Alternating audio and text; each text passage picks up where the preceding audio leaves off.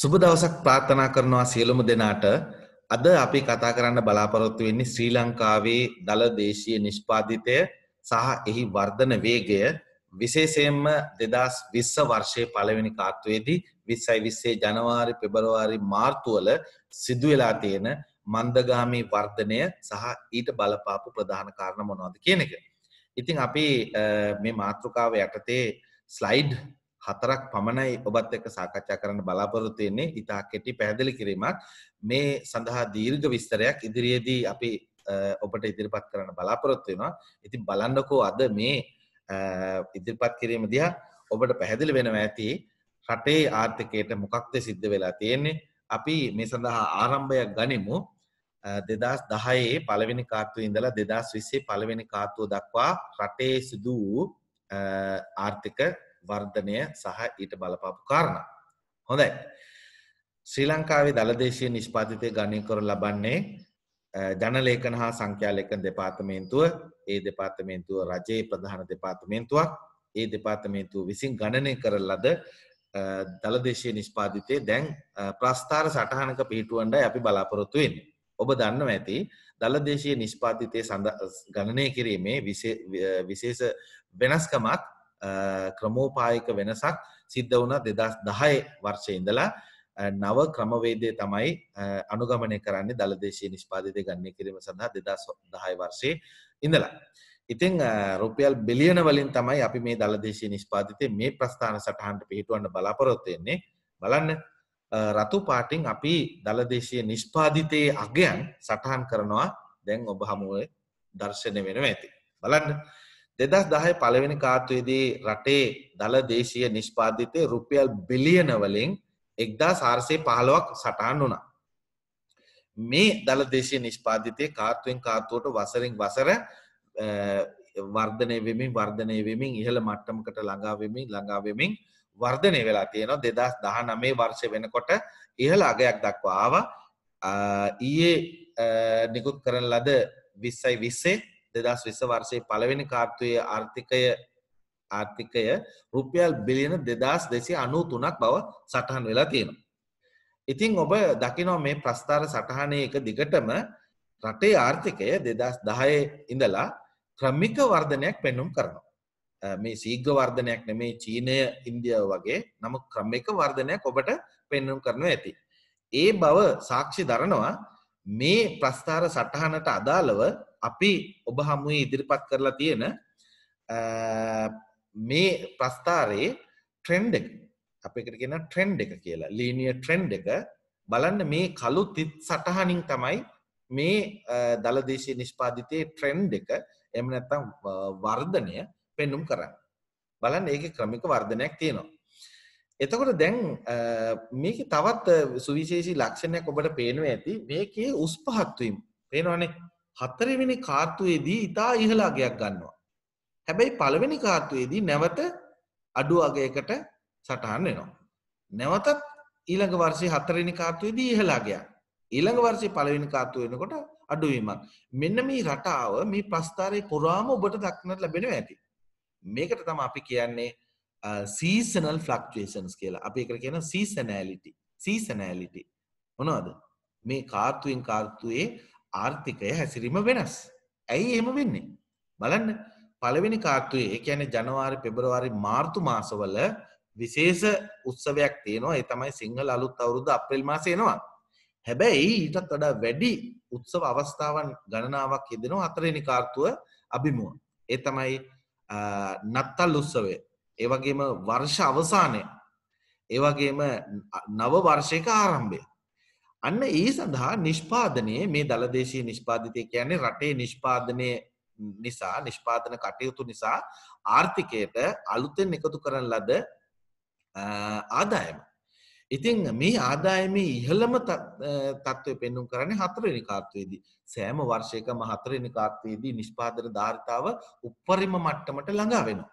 ඒත් එක්කම මේ ඉහළ ආර්ථික වර්ධනයදලා නැවතත් අලුත් වර්ෂය පටන් ගන්නේ සාමාන්‍ය නිෂ්පාදනයකින්. ක්‍රමිකව දෙවනි කාර්තුවේදී පළවෙනි කාර්තුවට වඩා වැඩි ආර්ථික ප්‍රසාරණයකුත් තුන්වෙනි කාර්තුවේදී ඊටත් වැඩියෙන් හතරවෙනි කාර්තුවේදී උපරිම ධාරිතාවට ළඟා වෙනවා. මෙන්න මේ රටාවට අපි කියනවා මම කලින් පැහැදිලි කරා වගේම කාර්තුගත හැසිරීම කියලා. ඉතින් කෙනෙක් රටේ ආර්ථික වර්ධනය කියන්නේ එක් කාලයක් පරිච්චේදයක සිට ඊළඟ කාල පරිච්චේදය දක්වා සිදු ආර්ථික වර්ධනය ගනිතමය වෙනස. ඉතින් දැන් එහෙම ගනිතමය වෙනසක් සංසන්ධනය කරන්න නම් මම ඔබට පැහැදිලි කරනවා මේ කාර්තුගත වෙනස්වීම් හැසිරීම ඉවත් කරන්න ඕනේ. ඒ සඳහා අපි ක්‍රමවේද කීපයක් පාවිච්චි කරනවා මමත් ඒ එක් ක්‍රමවේදයක් පාවිච්චි කරලා මේ ආර්ථික දළදේශී නිෂ්පාධිතයේ හැසිරීම හැසිරීමෙහි දක්නර තීරණ කාර්තුගත වෙනස ඉවත් කරා. අපි එකට පාවිච්චි කරේ කාර්තු හතරක මූවිං ඇවරේජ් එක මූවිං ඇවරේජ් මූවිං ඇවරේජ් ගණනය කිරීම තුළ ඔබට පේනව ඇති මේ නිල්පාට ප්‍රස්ථාර සටහනකින් අපි පෙන්නුම් කරනවා කාර්තුගත හැසිරීම ඉවත් කරන ලද දළදේශී නිෂ්පාධිතයේ ක්‍රමික වර්ධනය. බලන්න. දැන් මේ පෙර ප්‍රස්ථාර සටහනේදී ඔබට පෙන්නුම් කළා ආර්ථික වර්ධනය අපි සංසන්ධනය කළ යුත්තේ දෙදස් දහයේ එක් කාර්තුක සිට ඊළඟ වර්ෂය ගැන දෙදස් එකොළහේ අදාළ කාර්තුවට පමණයි. හැබැයි මේ මූවිං ඇවරේජ් වාර්ෂික වර්ධන වේගය අපිට එක් කාර්තුක ඉඳල ඊළඟ කාර්තුවට සංසන්ධනය කරන්න පුළුවන්. ඉතින් ඔබ දකින ඇති මේ ස්මූත් කරන ලද මූවිං ඇවරේජ් දළ දේශීය නිෂ්පාධිතය අපි පෙර පැහැදිලි කරපු වාර්ෂික වර්ධනයට ඒ කියන්නේ ලීනිය ට්‍රෙන්ඩ් එකට ඉතාසන්නේ තම ගමන් කරන්න. බලන්න මේ නිල් පාට සටහන ලීනිය ට්‍රෙන්ඩ් එකට ඉතාසන්නේ ගමන් කරනවා. ඒ කියන්නේ මේ තියෙන උස් පහත්වීම් සියල්ලක්ම ස්මූත් වෙලා තියෙන හොඳයි. එහෙමනම් මම මේකෙන් වඩාත් පැහැදිලි කරන්න උත්සාහ ගත්තේ මූවිං ඇවරේජ් දළ දේශීය නිෂ්පාධිතය තමයි වඩාත්ම සුදුසු දළ දේශීය නිෂ්පාධිතයේ වර්ධනය කතා කිරීම සඳහා. හොඳයි. අපි බලමු රටේ ආර්ථික වර්ධනය දෙදස් දෙදස් දහය ඉඳලා දෙදස් විස්සි පලවෙනි කාතු දක්වාම. හැබැයි මේ නව ක්‍රම්වේද යටතේ පළමුුවම දළදේශී නිෂ්පාතිතය තොරතුරු නිකුත් කරේ දෙදස් දායන එනම් දෙදස් දාය සංසන්ධනය කරන්න වෙන්නේ වර්ධනය දෙදස් කොල ඉඳලා. එනම් අපිට වර්ධන වේගයන් තියෙන දෙදස් එකොළහ වර්ෂය පලවෙනි කාත්තු ඉඳලා. හොඳයි. බලන්න. වාර්ෂික වර්ධන වේගේ ඔබට මතක ඇති මේ කුඩා ඉලක්කං වලින් පේනවා දන්න දෙදස් එකොලා වර්ෂයේදී වාර්ෂික වර්ධන වේගේ සියට අටයි දසම හතරයි. දෙදස් දොළහ වර්ෂයේදී වාර්ෂික වර්ධන වේගේ සියට නමේ දසම එකයි ඉහළ වර්ධනය. ඒවගේම දෙදස් දහතුනේදී තුන දසම හතරයි දාහතරේ දිසියට පහයි පාලොව දිසියට පයි දාසේදි සියට හතරයි දසම පහයි දාහතේදී තුනයි දසම හයයි දහ අටේදි තුනයි දසම තුනයි සහ දහනමේදී දෙකයි දසම තුනයි යනාදි වසයෙන් තමයි ආර්ථික වර්ධනය වුණේ කෙනෙක් පැහැදිලි කරන්න පුළුවන් මේ වර්ධනය අඩු වෙලාද කියලා නෑ. මේ තියෙන්නේ පෙර වර්ෂයේදී අත්පත් කරගත් ආර්ථික වර්ධනය එසේම පවත්වා ගැනීමින් ඊළඟ වර්ෂයේදී ඊට අලුතින් එකතු කරපු ආර්ථිකයේ නිෂ්පාදනය නේද? ඔවු. මේ නව නිෂ්පාදනය වසරින් වසර අලුතින් එකතු වන කොටස. කෙනෙකුට කියන්න බේ වර්ධනය අඩාලු නයි කියලා. අපි කිසියම් වර්ෂයක උපරිම ධාරිතාවට ළඟාවුණන ඊළඟ වර්ෂයේදී ඊටත් වැඩි වර්ධනයක් ඊටත් වඩා ආර්ථික ප්‍රසාරණයක් තියෙනවා නම් අන්නේ එක තමයි මේ ඉලක්කංගොලින් පෙන්නු කරන්න. ඉතින් මේකින් මේ ඉලක්කම උස්පහත්වීම තුළ කෙනෙකුට කියන්න බේ ආර්ථික කඩා වැටුනයි කියලා. හොඳේ? දැම් බලන්ඩ ඔබට තවත් සංසිද්ධියෙන් ම මතක් කරන්න. දෙදස් නමේ වර්ෂය වෙනකොට රටේ පැවතුනා සිවිල් අභ්‍යන්තර සිවිල් අරගලයක්. මං ඒක මොකක්ද කියලබට කියන්නේ නෑ අභ්‍යන්තර සිවිල් යුද්ධයක් තිබුණා. ඒක දෙදස් නමේ වර්ෂයේදී ඉවර අවසන් වුණා. ඊට පස්සේ උතුරු නැගෙනහිර කලාපේ දෙදස් දහය එකොළහයි දොළහ වෙනකොට ආර්ථික කටයුතු යළි ආරම්භ කරන මට්ටමකට ආවා. උතුරු නැගෙනහිර කලාපේ යටි තල පහසුකම් විශේෂයෙන්ම පාලම් බෝක්කු මහාමාර්ග සහ ගොඩනැගිලි නිවාස ඒවා අලුතින් සකස් වුණා. ඉතිං මෙන්න මේ ප්‍රසාරණය උතුරු නැගෙනහිර මේ ප්‍රසාරණය අපි හඳුන්නනවා ආර්ථික ප්‍රසාරණයක් විදියට ඒක දෙදස් දහය වර්ෂයට සාපේක්ෂව දෙදස් දොළහ වෙනකොට උපරිම තලයකටාව. හැබැයි ඒ ඒ ප්‍රසාරණය යම් තරමකට අඩු වුණා ඒ කියන්නේ ඒ වැඩ කටයුතු අවසන් වුණාට පස්සේ 2013 ඉඳලා ආර්ථිකය සාමාන්‍ය වර්ධනයට නැවත ළඟා වුණා. ඒ විශේෂ ආර්ථික ප්‍රසාරණයේ උච්චම අවස්ථාව තමයි 2012 වර්ෂයේ.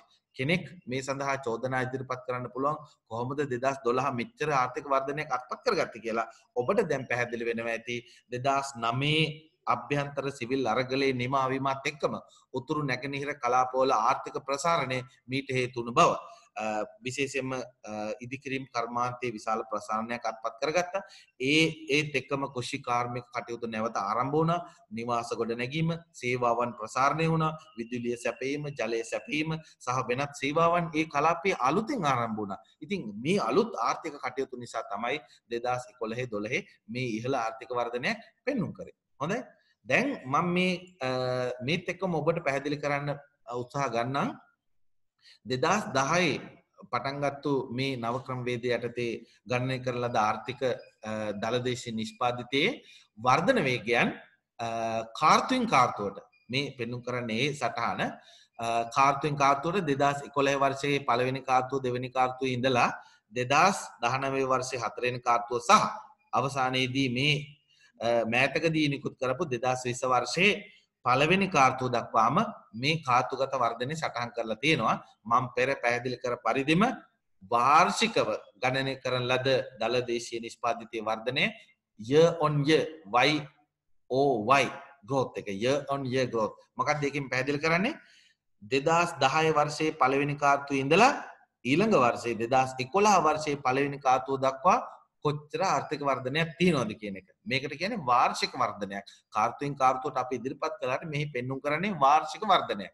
හැබැයි මංගර පල ප්‍රස්ථාර සටහනෙන් ඔබට පැදිලි කලා සීසනලි ඇජස්ට ග්‍රෝත් එක. සීසනලි ඇජස්ට GDP එක. ඒ ප්‍රස්ථාරයේ දින අපිට පුළුවන් දෙදස් දහයේ පළවෙනි කාර්තු ඉඳලා දෙදස් දහයම දෙවැනි කාර්තුවට අපිට වර්ධනය ගණනය කරන්න පුළුවන්. අන්න ඒ වර්ධනය තමයි මේ දෙවැනි ඉලක්කම් සටහනෙන් ඔබට පෙන්නුම් කරන්න.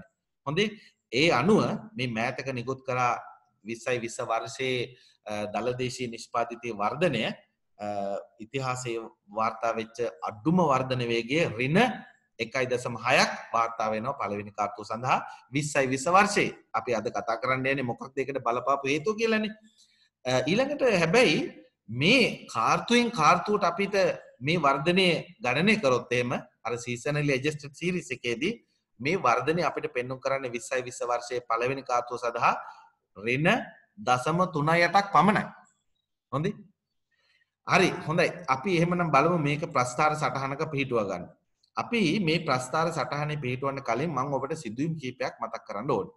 මං කලින් පැහැදිලි කලා වගේම දෙදස් නමේ යුද්ධය අවසන් වනත් එක්කම දෙදස් දහය එකොළහි දොළහිදී රටේ විශාල ආර්ථික ප්‍රසාරණයක් සිද්ධ වුණා ඒත් එක්කම දෙදස් දොළහේ තමයි මෙහි උච්චම අවස්ථාව වෙන්නේ. දෙදස් දහතුනේදී සාපේක්ෂව සංසන්ධනය වෙන්නේ දෙදස් දොළහ වර්ෂය අර ඉහල් ආර්ථික වර්ධනයක් වාර්තා වෙච්ච වර්ෂය. එනිසා දහ තුනේදී යම් වෙනසක් භාජනයවීම ඉඩකඩක් තියෙනවා. ඒත් එක්කම දෙදස් දා හතරෙදී එතෙක් පැවති රජය මාරු වෙනවා දෙදස් දාහතර වෙනකොට ඒ පැවති රජය විසින් විශාල සංවර්ධන ව්‍යාපෘතින් ගණනාවක් ආරම්භ කරලා තිබුණා. විශේෂයෙන්ම හම්බන්තොට වරාය කොළඹ වරාය සංවර්ධනය ඒවගේම පෝට් සිටි විශාලම ලංකාවේ විශාලම ව්‍යාපෘති ආරම්භ වුණා දෙදස් දාතර වර්ෂයේදී ඒත් එක්කම මාර්ග පහසුකම් පුළුල් කරන්නට ඒ රජය කටයුතු කරලා තිබුණා සහ රජයේ ආර්ථික කටයුතු විශේෂෙන් අධ්‍යාපනය සෞඛ්‍ය සහ රජයේ වියදම් විශාල වැඩවීමක් දෙදස් දාහතර වර්ෂයේදී වෙනකොට අපිට දකිින් ලැබුණා. ඒත් එකම දෙදස් පහළවෙදී අලුත් රජයක් බලයට පත්වෙනවා හැබැයි මේ වෙනකොට තිබිච්ච සමහර ආර්ථික කටයුතුවල යම් අඩාලවීමක් සිද්ධ වෙනවා දෙදස් පාලෝ වර්ෂය මුල. විශේෂයම පෝට් සිටි ව්‍යාපෘතිය තරමක් දුරට නතර වෙනවා කෙටිකාලීනව ඒත් එක්කම මාර්ග සංවර්ධන ව්‍යාපෘතිවල තරමක් අඩාලවීමක් වෙනවා. ඒත් එක්කම ඔබට යම් සිදුවීම් මතක් වන ඇති දෙදස් පහළුවේ බැංකු ෂේත්‍රයට අදාළව ඉතිං ආර්ථිකය යම් තරමකට වෙනසක් ලක්වුණාදුව කියලා මං ඔබට වර්ධන වේගය පෙන්නුම් කරන්න කලින් පොඩ්ඩක් මතක් කරලා ඉන්න. ඒත් එක්කම මේ රජේ දෙදස් පහළවෙදි බලයට පත්වෙච්ච රජයේ ගරු ජනාධිපත්තුමා විසින් දෙදස් දහටේ හතරනි කාර්තුවේදී රජයේ වෙනස්වීමක් අපේක්ෂාවෙන් යම් යම් වෙනස් කිරීම් කරනවා. ඒත් එකම රජය අස්ථාවර වුණාදෝ කියලබට මතක ඇති දෙදස් දහටේ අතරෙන කාර්තුවේදී රජය මාරු කිරීමට උත්සා ගත්තා ඒත් එකම රජය යම් තරමක අස්ථාවවීමක් වෙනවා. ඒත් එකම දෙදස් දහනමේ ලෝක ප්‍රසිද්ධ අප්‍රේල් ප්‍රහාරය අපේකට කියනවා පාස්කු ප්‍රහාරය සිංහලේ ඉංග්‍රිසින් කෙනනම් ඊස්ට සන්ඩේ ඇටැක් එක අප්‍රේල් විසියෙක් වෙද සිද්ධ වෙනවා දෙදස් දහනමේ දෙවැනි කාර්තුවේදී මෙතනින් එහාට සංචාරක ව්‍යාපාරය සහ ආර්ථික කටයුතු තුළ කිසියම් අඩුවීමක් තියෙනවා දෝ කියලා මම ඔබට කලින්ම මතක් කරලා දෙන්නම්. ඒත් එක්කම 2019 දෙසැම්බර් පටන් ගත්තු මේ කොවිඩ් වසංගතය චීනෙන් යුරෝපයට යුරෝපයෙන් ඇමරිකාවට එතනින් ලෝකෙ පුරාම ව්‍යාප්ත වෙලා තිබුණා ලංකාවට එන්නේ 2020 මාර්තු මාසයේදී වුණත් අපි ලෝක ආර්ථිකයේ වෙනස් වීමක් මේ දකිනවා 2019 මේ පළවෙනි කාර්තුවේ ඉඳලා. හොඳයි. අපි දැන් මේ වර්ධන වේගයන් ප්‍රස්ථාර සටහනක පිහිටුවමුද බලන්න. ඔන්න තියෙන මේ නිල් පාටින් පෙන්නුම් කරන්නේ ඒ වර්ධන වේගයන්හි ප්‍රස්ථාරය. හොඳයි. ඔබට දකින්නවනේ මං අර කියපු සංසිද්ධීන් මේකට සම්බන්ධ වෙන බව. දැන් ඒ සංසිද්ධීන් එකිනෙක මේ ආර්ථික වර්ධන ඉලක්කම් එක්ක ගලපන්න කලින් මං ඔබට පෙන්වන්නම් අර මේ වාර්ෂික වර්ධනය වාර්ෂිකව ගණනය කරලද වර්ධනයට සාපේක්ෂව අර සීසනලි ඇජස්ටඩ් සිරිස එක හැසිරීම් කොමද කියලා රතු පාට ප්‍රස්ථාරයෙන් පෙන්නුම් කරන්නේ සීසනලි ඇජස්ටඩ් සිරිස එක. ඔබට පේන ඇති මේ නිල් පාට ප්‍රස්ථාරයේ උස්පාත්වීම් වලට වඩා අඩුවෙන් තමයි මේ රතු පාට ප්‍රස්ථාරය උස්පහත්වීම් පෙන්නුම් කරන්නේ. සීසනලි ඇජස්ටඩ් සිරිස එක අරට වඩා නම්ම ශීලීව ගමන් කරනවා. හොඳ? ඒ නිසා තමයි අපිට හැකි වෙන්නේ මේ රතු පාට ප්‍රස්ථාන සටහනේ එක් ස්ථානයක ඉඳලා ඊළඟ ස්ථානයට අපිට වර්ධනය සංසන්ධන කරන්න පුළුවන්. හැබැයි අර නිල්පාට ප්‍රස්ථාරයෙන් අපිට එහෙම බෑ. ඒක වාර්ෂික වර්ධනයක් තමයි පෙන්නුම් කරන්න. හොඳයි. අපි දැන් බලමු. මේ මම පෙන්නුම් කරපු සිද්ධීන් එකිනෙක ගලපලා මම ඔබට පැහැදිලි කරා. 2010 11 12 දී විශාල ආර්ථික වර්ධනයක් දක්නට ලැබුණා යුද්ධය අවසන් වීම තුල විශේෂයෙන් උතුරු නැගෙනහිර කලාපයේ ආර්ථික ප්‍රසාරණය අලුතෙන් ආර්ථික කටයුතු ආරම්භ කිරීම. ඒ උච්චම අවස්ථාව 2012 වර්ෂයේ පළවෙනි කාර්තුවේදී 16.12ක වර්ධනයක් පෙන්눔 කරනවා. ඔබට මතක ඇති 2010 11 12 උතුරු නැගෙනහිර සංවර්ධනය ඔබ මේ ප්‍රදේශයේ සංචාරය කළා නම් ඔබට ඒක පැහැදිලි වෙන්න ඇති. හැබැයි ඒත් එකම 2013 වර්ෂයේදී 2012 උච්ච වර්ධනය සමග සංසන්දනය වීම නිසා 2013 වර්ෂයේදී වර්ධනය යම්කිසි අඩාලවීමක් සිද්ධ වෙනවා. වාර්ෂක වර්ධනය සයට තුනයි දසම හතරක්. සහ හතරනි කාත්වේදී දෙදස් දහතුන වර්ෂයේදී වාර්තාවනේ දසම හතර යටක් පමණයි. මේකට හේතුව තමයි දෙදස් දොළහ පාද වර්ෂය ඉතා ඒල වර්ධනයක් සමග දෙදස් ධාතුන සංසන්ධනය වීම. හැබැයි මේකේ ඔබට වෙනසක් පේනවා. මේ ඉලක්කං ඔබට පේනවා නම් දෙදස් දහතුන වර්ෂය හතරනි කාත්තුවේ දී අපිට පේන්නේ දසම එකයි තුනක්. අර සීසන ලෙජස්ටඩ් සීරිස එකේ වර්ධනය. හොඳයි. ඒත් එක්කම ඔබට නැවත මතක් කරන්නම් දෙදස් දාහතර වර්ෂයේදී ඒ පැවති රජයේ විසින් විශාල ව්‍යාපෘති වල උච්චස්ථානයට පැමිණිය විශේෂයෙන්ම පෝට් සිටි ව්‍යාපෘතිය අධිවේගී මාර්ග සංවර්ධන ව්‍යාපෘති කිහිපයක් සහ මාර්ග සංවර්ධන ව්‍යාපෘති සහ රජී ආර්ථික කටයුතුල් විශාල ප්‍රසාරණයක් නව බඳවා ගැනීම් ගණනාවක් රාජ්‍ය සේවයට වාර්තා වුණ දෙදස් දාහතර වර්ෂයේදී නිසා දෙදස් දාහතර වර්ෂයේදී නැවත ආර්ථිකයේ ප්‍රසාරණාත්මක බලපෑමක් විශේෂයෙන්ම දෙදස් දාහතරේ හතරනි කාත්වයේදී සිට දාය දසම පහ යට මේ රජයේ අවසාන කාත්තුවේ පැවති රජයේ අවසාන කාත්තුවේ ඉහළ වර්ධනයක් පෙන්නුම් කරලා තියෙනවා. මේ සඳහා දායක වෙලා තියෙන්නේ රජය ආර්ථික කටයුතු වලට විශේෂ මැදිහත්වීමක් සිදු කළ නිසා.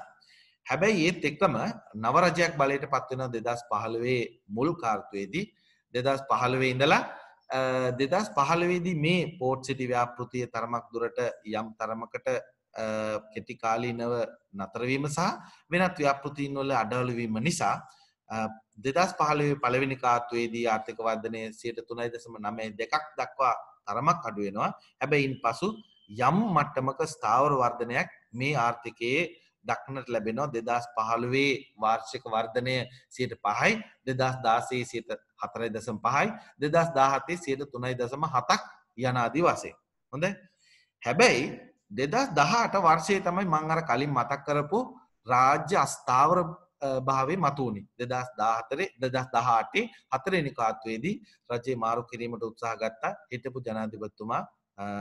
ඉතින් ඒ නිසා රජය අස්ථාවරවීම නිසා විශේෂෙන්ම අවසන් මාස තුන දෙදස් දාට වර්ෂයේදී ඔක්තොම්බ නොහෙම්බර් දෙසැම්බරල ආර්ථික කටයුතු නත්තර වෙච්ච ස්වභාවයක් තමයි අපිට දක්නට ලැබුණේ. රජයේ ආර්ථික කටයුතු සියල්ලක්ම පාහි වියදම් අඩ පණ වෙලා තිබුණා. අයවැය ඉදිරිපත් කිරීම ගැටලු සහගත වුණා. මේ නිසා දෙදස් දහටේ හතරනි කාර්තුවේ යම් පසු බැස්මක් තිබිල තියෙනවා. ඒක මේ ප්‍රස්ථාර සටහනෙත් ඔබට පැහැදිලි වෙනවා ඇති. ඒත් එක්කම දෙදස් දහටට පසු දෙදස් දානමේ වර්ෂය අප්‍රේල් මාසේදී ඒ වෙනකොට රජය යම් මටමක ස්ථාවර වෙලා තිබුණේ. නමුත් අප්‍රේල් මාසේදී විශාල ත්‍රස්තවාදී ප්‍රහාරයක් ශ්‍රී ලංකාවට එල්ල වෙනවා. ඒ තමයි අප්‍රේල් විසියක පාස්කු ඉරිදා ප්‍රහාරය ඊස්ට සන්ඩේ ඇටැක් එක. ඒ නිසා දෙදස් දහනමේ දෙවැනි කාත්තුවේදී ආර්ථික වර්ධනය වාර්තාවන්නේ සීට එකයි දසම බිඳුවෙන් නමේ වට මතක ඇති. එයින් පස්සේ රටේ ආර්ථිකය විශාල වසයෙන් පසු බැස්මකට ලක්වුණා හේතුව සංචාරක ව්‍යාපාරය අඩාලවීම අපනෑන අඩුවීම සහ රටේ ආර්ථිකයේ යම් සංකෝචනාත්මක බලපෑමක් මේ සිදුවීම් දෙක හරහා සිද්ධ වෙලා තියෙනවා. ඒ අතර තමයි මේ ගෝලීය කෝවිඩ් බසංගතය පැමිණිය දෙදස් දහනමේ දෙසැම්බර් මාසෙන්දලා ඒත් එක්කම ඔබට මතක ඇති රටේ අමුද්‍රව්‍ය සැප ප්‍රධාන අමුද්‍රව්‍ය සැපීම් කරවන්නේ චීනය විශේෂයම ඇගොලුම් කර්මාන්තයට අවශ්‍ය රෙදිපිළි සහ අනිකුත් අමුද්‍රව්‍ය සැපයනි චීනය සහ ප්ලාස්ටික් අමුද්‍රව්‍ය ඒ සැපියුම් කරු අපිට බහන්ඩ සැපේන එක අඩාල වුණා ඒ රටට බලපාපු කෝවිඩ් වසංගතය නිසා. ඒ නිසා අපේ නිෂ්පාදනය යම් අඩාලවීමක් සිද්ධ වුණා දෙදස් විස්සේ පලවෙනි කාත්තු ඉඳලම. ඒත් එක්කම දෙදස් විසේ පලවෙනි කාර්තුවේදී අපේ ඇගොලුම් අපනෑන විශේෂෙන්ම ඇමරිකාවට සහ යුරෝපයට අඩුවීමක් වාර්තා වුණ. ඒ නිසා අපේ අපනෑන අඩුවීම අපේ ආර්ථික කටයුතු සංකෝචනයවීම සහ අපේ අමුද්‍රව්‍ය සපයන්නන්ට තිබිච්ච මේ ප්‍රශ්නය නිසා දෙදස් විස්සේ පලවෙනි කාර්තුවේදී අපේ ආර්ථිකය විශාල කඩා වැටීමකට ලක් වුණා. ඒත් එක්කම දෙදස් විස්සේ අප්‍රේල් මාසේ අපේ නව සිංහල අලුත් අවුරුද්දට සූදානම් වෙන්ඩ තිබුණේ දෙදස් විසේ පලවෙනි කාර්තුවේදී. ඒ නිෂ්පාදනයත් අඩාල වුණා මෙන්න මේ කෝවිඩ් සංගතය නිසා. ඒ නිසා අපි දකිනවා දෙදස් විස්සේ පලවෙනි කාර්තුවේ ආර්ථික වර්ධනය රින වර්ධනයක් පාර්තා කරලා තියෙනවා සියයට එකයි දස මහයකින් ආර්ථිකය පසු බැහල තියෙනවා. හැබැයි අපි අර සීසනලි ඇජස්ටඩ් සිරිස එකෙන් මේ ආර්ථික වර්ධනය ගණනය කිරීම් කලාට පස්සේ අපි දකිනවා මේ පසු බැස්ම දෙදස් දාහත් දහ නමේ හතරෙනි කාර්තුවට සාපේක්ෂව දෙදස් විස්සේ පලවෙනි කාර්තුවේදී ආර්ථික වර්ධනය දසම තුන යටකින් පමණයි පසු බැහලතිීන්. හොඳයි. විශාල කතන්දරයක් මේ ප්‍රස්ථාර සටහනින් මං ඔබට ඉදිරිපත් කළා. දැන් මං ඒකින් එහාට ගිහිල්ලා මේ ආර්ථිකයේ ශ්‍රී ලංකා ආර්ථිකයේ දෙදස් විස්ස වර්සයේ පළවෙනි කාර්තුවේදී රින ආර්ථික වර්ධනයක් බල පාලතියනි කොහොමද කියන එක පැදිලි කරන්න. මං මේ ආර්ථික කොටස් තුනකට බෙදෙනවා කෘෂි කර්මාන්තය කර්මාන්ත සහ සේවාවන් හොඳ ඔක්ක මාර්ථික කටයුතු හතලි සටක් මේ තුළ පෙන්නුම් කරනවා. බලන්න දෙදස් විශ්‍ය වර්ෂයේ පළවෙනි කාර්තුවේදී කෘෂි කර්මාන්තයේ සීට පහයිදසම හයකින් පසු බැහල තියෙනවා. කර්මාන්ත සීට හතයි දසම අටකින් පසු බැහලා තියෙනවා. ඒවගේම සේවාවන් පමණක් ධන වර්ධනය පෙන්නු කරන සයට තුනයි දසම එකයි. අපි බලමු මොනවාදේ කියල. සමස්ථ ආර්ථික වර්ධනය සයට එකයි දසම හයකින් පසු බැහලා තියෙන. හොඳයි. කෘෂි කර්මාන්තය බැලුවොත් මේ දහනය නිෂ්පාදනය සහ සහල් නිෂ්පාදනය එලවුලු නිෂ්පාදනය පළතුරු නිෂ්පාදනය යම් වර්ධනයක් පෙන්නුම් කරලා තියෙනවා. හැබැයි පොල් නිෂ්පාදනය විශේෂෙන්ම තේ නිෂ්පාදනය සහ බීම වර්ග නිෂ්පාදනය රබර් කර්මාන්තය සහ වන වගාවන් දීවර කර්මාන්තය විශාල කඩාවැටීමකට ලක් වෙලා තියෙන බව මේ ප්‍රස්ථාර සටහනින් ඔබට පැහැදිලි වෙනවා ඇති බලන්න ඒත් එකම කර්මාන්තවල ඉදිකිරීම් කර්මාන්තය ඒ වගේම තෙල් පිරිපහදු කිරීම බොරතෙල් පිරිපහදු කිරීම සහ පතල් හා කැනීම් කර්මාන්තය ඇගොලුම් නිෂ්පාදනය සහ මේ ප්ලාස්ටික් රබර් ද්‍රව්‍ය සහ ෆර්නිච නිෂ්පාදනය බිඳ වැටිලා තියෙනවා. හැබැයි ඒත් එක්කම මේ ආහාර නිෂ්පාදනයන යම් වර්ධනයක් තියෙනවා. ඒත් එක්කම රජයේ නිෂ්පාදන කටයුතු විශේෂෙන්ම විදුලි උත්පාදනය වැඩි වෙලා තියෙනවා ජල සැපීම වැඩි වෙලා තියෙනවා නමුත් සමස්ත ආර්ථිකයේ සලකා බලපුහම කර්මාන්තන්සේ සිට හතයි දසම අටකින් පසු බැස්මක් වාර්තා වෙලා තියෙනවා. සීවාන්සේ මිට වඩ වෙනස්. සීවාන්සේ ඔබ දකිනවා ඔබ ගෙදරට වෙලා හිටපු කාලය තුළත් ඔබ පරිගණක තාක්ෂණය අන්තර්ජාල පහසුකම් සහ මේ දුරකතන පහසුකම් වැඩි වැඩියෙන් පාවිච්චි කරා. ඒ නිසා දෝ ටෙලිකොමිනිකේෂන් ඉන්ඩස්ට්‍රියක විශාල වර්ධනයක් අත් කරගෙන තියෙනවා. ඒ වගේම මේ පරිගණක තාක්ෂණය ආශ්‍රිත කර්මාන්තය සිට නමේ දසම හයක වර්ධනයක් ඒවගේම මූල්‍ය ශේත්‍රී විශාල ප්‍රසාරණයක් සහ රජයේ සේවාවන්ගේ විශේෂයෙන්ම රාජ්‍ය පරිපාලනයේදී සහ අධ්‍යාපනය සහ සෞඛ්‍ය සේවාවන්නේ ප්‍රසාරණයක් පළවෙනි කාතුවේදී දක්නට ලැබෙනවා. මෙන්න මේ කාරණා නිසා තමයි සමස්ත ආර්ථිකය එකයි දසමහයකින් පසු බැහල තියන්නේ. ඒ සඳහා විශේෂ බලපෑමක් කර්මාන්ත බිඳ වැටීම කෙරෙහි ඔබ දකිනව ඇති. සේවාවන් වර්ධනය වනත් කර්මාන්තොල සහ කෘෂි කර්මාන්තය බිඳ වැටීම නිසා ආර්ථිකය යම් තරමක පසු බැස්මක් වාර්තා කරලා තියෙනවා. මං මේ පිළිබඳ විස්තරාත්මක වීඩියෝවක් ඉදිරියේදී ඔබට ඉදිරිපත් කරන්නම්. ඊට කලින් අද අද ඉදිරිපත් කිරීමේ අවසාන ප්‍රස්ථාර සටහන්ට මං ඔබව රැගෙන යනවා. ඒ තමයි මේ සියයට එකයි දසම හය සියයක් නම්.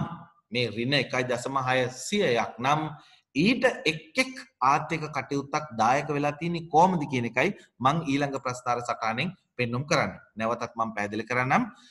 දෙදස් විස්ස වර්ෂයේ පළවෙනි කාත්වයේදී රින ආර්ථික වර්ධනයක් අත්පත් කරගත්තා. ඒ රින එකයි දසම හයක්.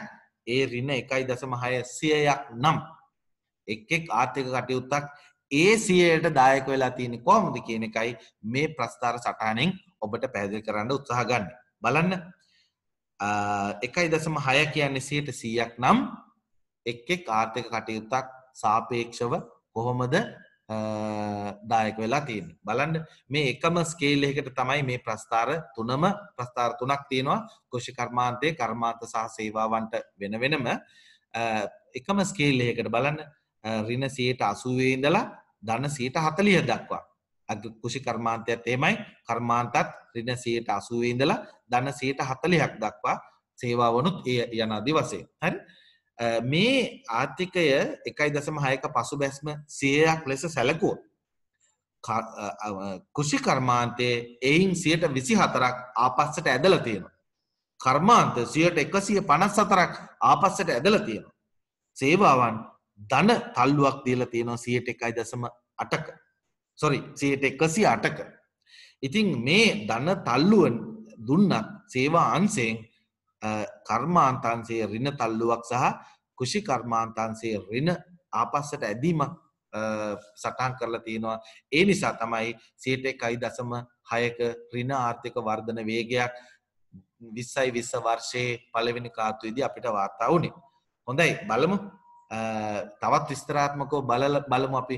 කුෂි කර්මාන්තය ඔබට පේනුව ඇති මේ බින්දුවට ආසන්නේ තමයි දන වනත් රින වනත් සියලු මාර්ථක කටයුතු වාර්තා වෙලා තියෙන බලන්ඩ රයිස් එකන්නේ සහල් නිෂ්පාදනය දන එකයි දසම දෙක තල්ලුවක් දීල තියෙන හොඳේ? අපි ඉසල දැක්කා මේ කර්ම සහල් නිෂ්පාදනය සීට හතරයි දසම එකයි.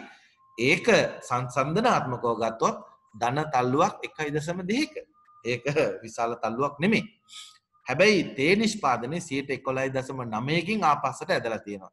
හැබැයි මේ කුෂි කර්මික කුෂි කාර්මික ආර්ථික කටයුතු සියල්ලක්ම බින්දුවට ආසන්නේ තියෙන්නේ. හැබැයි ඔබ හොඳට බැලුවොත් කර්මාන්තන්සේ බලන්න කර්මාන්තන්සේ එක කර්මාන්තයක් අපිට පෙන්නුම් කරනවා රින විශාල ඇදීමක් පහලට ඇදීමක් තියෙනවා. මොකක්දේ? ඉදිකිරීම් කර්මාන්තය. ඉදිකිරීම් කර්මාන්තය පළවෙනි කාත්වයේදී සීට හැත්ත පහකින් බෙද වැඩිලා තියෙනවා. සීට හැත්ත පහකින් බෙද වැඩිලා තියෙනවා. එමනම් මේ රින ආර්ථික වර්ධන වේගේ රින එකයි දසම හයට වැඩි වසයෙන්ම දායක වෙලා තියෙන්නේ ඔබට පේන ඇති ඉදිකිරීම් කර්මාන්තය. ඉදිකිරීම් කර්මාන්තය බෙද වැටීම තමයි මේකට ප්‍රධානතම හේතුව. කෝවිඩ් වසංගතය නිසා රටේ ඉදිකිරීම් කර්මාන්තය විශේෂයෙන්ම චීන කර්මාන් චීන සමාගම් විසින් කරන ලද ඉදිකිරීම් කර්මාන්තය සම්පූර්ණයම බෙද වැටුණා. චීනයෙන් තමයි සේවකයෙන් ලංකාවට ගෙන්නල තිබුණේ කර්මාන්තොල විශේෂයෙන්ම අවුට සැකියවල හයිවේක එකන්නේ කොළඹ පිටත වටරවුම් මාර්ගයෙන් ඉදිකිරීම් කටයුතුවල සඳහා චීන චීන කර්ම චීන සමාගම් දායක වෙලා තියෙනවා. ඒ සමාගම්වල සේවකයෝ ඒගොල්ලන්ගේ උත්සවයක් සඳහා දෙදස් දානම හතරනි කාතුවේදී නැවත චීනයට ගිය. ඔවුන්ට එන්නට හැකියාවක් ලැබුණ නෑ මේ කොවිඩ් වසංගත නිසා. අයා පොට් වාල තිබුණ. ඒ නිසා ඉදිකිරීම් කර්මාන්තය බිඳවැටීමකට ලක් වුණ. සහ රටේ ඉදිකිරීම් කර්මාන්තයට අවශ්‍ය අමුද්‍රව්‍ය සැපීම චීනයෙන් ආවින්නේ ඒත් එකම රටේ ඉදිකිරීම් කර්මාන්තයක් යම් තරම්කට අඩාල වුණා මාර්තු මාසේ මැද ඉඳලා. ඒත් එකම කම්කරුවන්ට ඒ තමන්ගේ රැකිය අහිම වුණා. ඒ නිසා ඉදිකිරීම් කර්මාන්තය විශාල පසු බැස්මක් මේ විස්සයි විස වර්ෂය පළවෙනි කාත්තුවේදී දක්වල තියෙනවා. ඒත් එක්කම ඔබ දැක්කොත් එහෙම අපි කලින් පැහැදිලි කලා වගේම ඇමරිකාවට සහ යුරෝපයට ඇගොලුම් අපනෑන විශාල බෙදවැටීමක් තියෙනවා. එක මං ඉදිරිදි පැහැදිලි කරන්නම්. ඒ ඇගුලුම් කර්මාන්තයේ බෙදවැටීම සීට හතලිස එකයි දසම හත්තකින් බලපාල තියෙනවා සහ පතල් හා කැනීම් කර්මාන්තයේ සයට තිහකින් දායක වෙලා තියෙනවා. අඩු වර්ධනයක් පෙන්නුම් කරන්න. මෙන්න මේ ටික තමයි ඇත්තටම මේ ආර්ථිකයේ මේ පසු බැස්මට දායක වෙලා තියන්න මොනවද. ඉදිකිරීම් කර්මාන්තය පතල් හා කැනීම් කර්මාන්තය සහ මේ නිමි ඇගලුම් ශේත්‍රය බිඳ වැටීම. හොඳට බලන්න මේ කර්මාන්ත තුන බිඳ වැටුනේ නැත්තම් මේ පළවෙනි කාත්තුවේදී මේ ආර්ථිකය සමහරයට ධන වර්ධන වේගයක් වාර්තා කරන්නට ඉඩ තිබුණා. මොනවද එහෙමනම් අපි වර්ධනය කළ යුත්තේ මෙන්න මේ කර්මාන්ත තුනටයි අපි විශේෂ අවධානය යොමු කළ යුතුව තිබුණේ පළවෙනි කාතුවේදී. මොනවද? ඉදිකිරීම් කර්මාන්තය සහ ඇඟලුම් ක්ෂේත්‍රය සහ මේ පතල් හා කැනිම් ක්ෂේත්‍රය. ඒත් එක්කම කර්මාන්ත තුල ආහාර නිෂ්පාදනය වැඩි වෙලා තියෙනවා. ඔබට පැදිලි ඇති අපි ගෙදර හිටිය තොම අපි හොඳට කාලබිල හිටියන. ඕ සමහරු ප්‍රශ්න කරනවා. අපි ආර්ථිකය කිසිම කඩාවැටීමත් තිබෙනෑ නේද? අපි හොඳට කාලබිල හිටිය නේද? කියලා. ඕ ඉතින් මොක් ඒකට හේතුව තමයි ආහාර නිෂ්පාදනය අඩාලු නෑ එහි වර්ධනයක් තියෙනවා. මේ රින වර්ධනය සයට සීයක් නම් ධන තල්ලුවක් දීල තියෙන්නේ ආහාර නිෂ්පාදනය. ඒ කොච්චර දිකිවොත්තේම නිරපේක්ෂව සිට දෙකයි දසම අටකින් වර්ධනය වෙලා තියෙනවා. සාපේක්ෂව සිට දොලාහි දසම හතකින් දායක වෙලා තියෙනවා ඒ වර්ධනයට. සමස්ථ ආර්ථික වර්ධනයට. හොඳ? හැබැයි මේ අනිකුත් කර්මාන්ත තෙල් බොරතෙල් පිරිපහදු කිරීම කඩදාසය ආශ්‍රිත නිෂ්පාදන කෙමිකල් ආශ්‍රිත නිෂ්පාදිත රබර් නිෂ්පාදිත සහ කර්මාන්ත ආශ්‍රිත නිෂ්පාදනය අඩාලෙවීමක් වෙලා තියෙනවා. හැබැයි සුළු වර්ධනයක් පෙන්නුම් කරනවා විදුලි සැපයුමේ. ඒවගේම ජල සැපීමේ සුළු වර්ධනයක් පෙන්නුම් කරනවා. අනිත් අතර සර්විස් මං කලින් පැහැදිලි කලා සේවාන්සය ධන වර්ධනයක් වාර්තා කරලා තියෙනවා. සාපේක්ෂව කෘෂිකර්මය සහ කර්මාන්ත රින වර්ධනයක් වාර්තා කරද්දිත් සේවාන්සය ධන ප්‍රසාරණාත්මක බලපෑමක් තමයි ඇති කරලා තියෙන්නේ. ඒකෙත් මොනෝද කියල බැලුවොත්තේම වෙළඳාම වර්ධනය වෙලා තියෙනවා. අපි ගෙදර හිටියට ගෙදරට වෙලා හිටපු කාලය තුළදි වුණත් වෙළදාම සිද්ධ වෙලා තියෙනවා. වෙළදාම සීට විසි නමයකින් ධන සාපේක්ෂ තල්ලුවක් දීලා තියෙනවා. ඒත් එක්කම ෆයිනෑන්ශල් එකන බැංකු සහ බැංකු ආශ්‍රිත සේවාවන් මූල්‍ය සැපයුම් සේවාවන් වර්ධනයක් පෙන්නුම් කළ තියෙන සීට තිස්තුනයි දසම අටයි. ඒවගේම වෙළදාමට සම්බන්ධ රියල් ස්ටේට් සීට දාසේ දසම එකයි. සහ වෙනත් සේවාවන් වෙනත් පෞද්ගලික සේවාවන් හි වර්ධනයක් සිට විසියකයි දසම හතක වර්ධනයක් තියෙනවා. ඒත් එකම රජය විසින් සපයන ලද පබ්ලික් ඇඩමිනිස්ටේෂන් රාජ්‍ය පරිපාලන කටයුතු අධ්‍යාපනය සහ සෞඛ්‍ය ධන වර්ධනයක් පෙන්නුම් කරලා තියෙනවා. මෙන්න මේ නිසා සේවා අන්සය සමස්ත අන්සයක් විදියට සීට එකයි දසම අටක දන්න තල්ලුවක් තමයි දීලා තියෙන්නේ. රින එකයි දසම හයක වර්ධනය තුළ ධන එකයි සීට එකසි අටක්ම දීල තියෙන්නේ සේවාන්සේ හැබැයි සේවාන්සේ මෙසේ පුළුල් වීමක් වුණා ඔබ දකිනව ඇති ට්‍රන්ස්පෝට් එකන ප්‍රවාහනය අඩු වෙලා තියෙන අපි දැක්කා නිරපේක්ෂ වර්ධනය සියට රින දසම එකයි. එහි සාපේක්ෂ වර්ධනය රින දස මාටයි ප්‍රවාහන සේවාවන්ගේ. ප්‍රවාහන සේවාවන්නේ බිඳ වැටීමක් වාර්තා වෙනවා. පළවෙනි කාත්තුවේදී ඔබට ඒක පැහැදිලි වෙනව ඇති. අපි දවස් කීපයක් ගෙදරට වෙලා හිටිය මේ පළවෙනි කාත්තුවේදී මාර්තු මාසෙ මැද ඉඳලා අපි ගෙදරට වෙලා හිටියේ. ප්‍රවාහන සේවාවන් නතර වෙලා තිබුණ. ඒත් එක්කම පාස්කු ප්‍රහාරය නිසා එල්ලවෙච්ච බලපෑමත් එක්ක කෝවිඩ් වසංකතයේ ලෝකයේ පුරා දෙසෙම්බරින්දල ව්‍යාප්තවීමෙන් පැවතුනා එයා පෝට් වහන්න ගත්තා. ඒවගේම ගුවන් සේවා නතර වුණා. සහ රටේ සංචාරක ව්‍යාපාරයට නොයකුත් හේතු නිසා රින බලපෑමක් ඇති වුණා. සංචාරක ව්‍යාපාරය අඩ පණවීමට පටන් ගත්තා පාස්කු ප්‍රහාරයෙන් පස්සේ. ඒක නැගී සිටීමට හැකියාවක් ලැබුණේ නැහැ. විස්සයි විසේ පළවෙනි කාතුව තුළදිත් ඔබ දකිනවා රින හය දසම හතක සාපේක්ෂ බලපෑමක් දීල තියෙනවා. මොනාද නවාතැන් පහසුකම් සේවාවන් සැපීම සහ ආහාර පාන ආශ්‍රිත සේවාවන් සැපීම සංචාරක ව්‍යාපාරයට. හොඳයි. මේ තමයි විස්සයි විස්ස වර්ෂයේ පළවෙනි කාත්තුව සඳහා එක් කාර්තික කටයුත්තක් සාපේක්ෂව සහ නිරපේක්ෂව මේ සටහන පෙන්නු කරන නිරපේක්ෂ දායකවීම සහ සාපේක්ෂ දායකවීම ඔබට පැදිලි වෙනම ඇති. හොඳයි. එමනම් මේ සඳහා දැන් අපි විස්සයි විස්ස වාර්ෂික වර්ධන වේගයක් මේ අනු අපිට පුරෝකතනය කිරීමේ හැකියාව තියෙනවාද?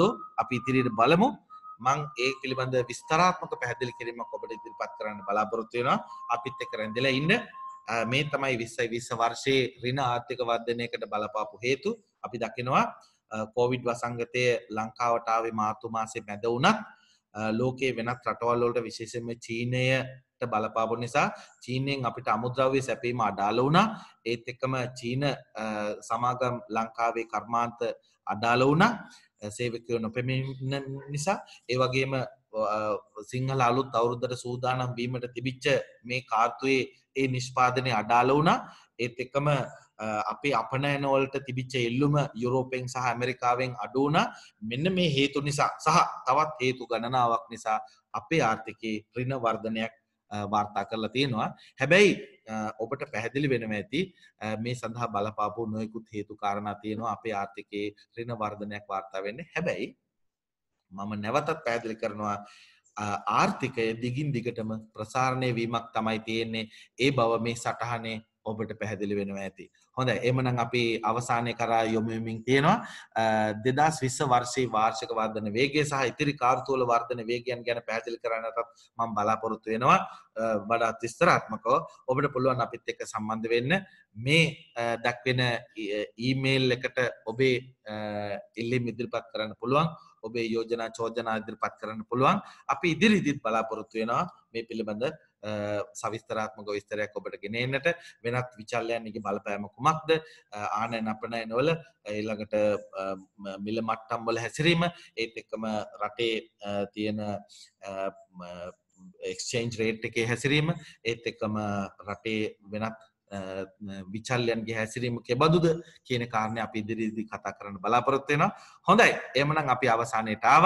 සියලුම දෙනාට බොහොම ස්තුතියි. සවන්දුන්නට අපිත් එක් ඉදිරිදි සම්බන්ධ වෙන්න ඔබට මාව සම්බන්ධ කරගන්නත් පුළුවන් මම මංජුලේකනායක ජනලේකන හා සංඛ්‍යාලේකන දෙපාර්තමේන්තුවේ ආර්ථික කටයුතු සම්බන්ධ නිලධාරී.